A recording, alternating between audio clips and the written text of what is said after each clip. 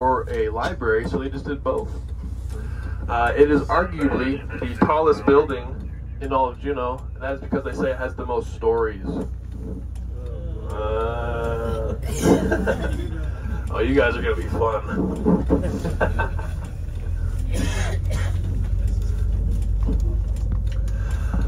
On the way back, also, uh, if you have any questions about the sh uh, shopping areas, I'll be free. Good question. It might open up later on, maybe.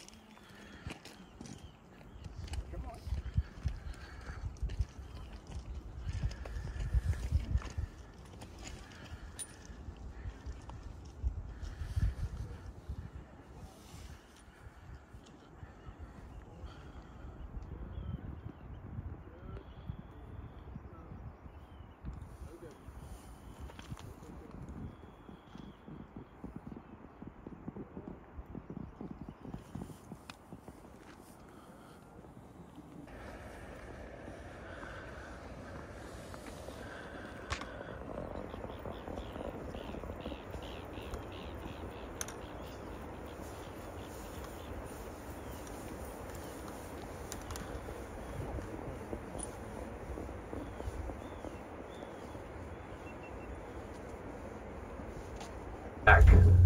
But I'm counting, I counted 49 heads, just 49 people. I counted like three times, okay, someone is missing. So I'm asking the people on the bus, which I thought was kind of weird because usually people don't really travel up here alone. Generally, it's in either a group of two or just a group. So I'm asking like, the passengers, like, hey, uh, is anyone missing anyone? And no one's saying anything. So I'm like, okay, they're just, I guess they got lost. So it's coming down his face. So she goes to the back and we're going back. It's a little awkward. Like the bus is kind of quiet. You can hear them arguing in the back. I'm just kind of going through my tour a little bit. so I'm just doing, doing my best. So we get back to the, the dock where I dropped. Hands me a hundred bucks. Says that was the best 20 minutes of my life. I'm like, thank you. So moral of the story is you never know what you're gonna see up here.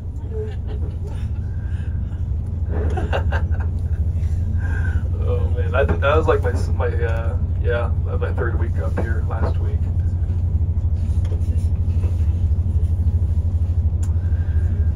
All right, so we got about 25 minute drive, or probably closer to 20 minutes, over to the hatchery. There we'll have about 35 minutes. Can explore the area, get the tour, and then after that, I'll take you back to the cruise ship.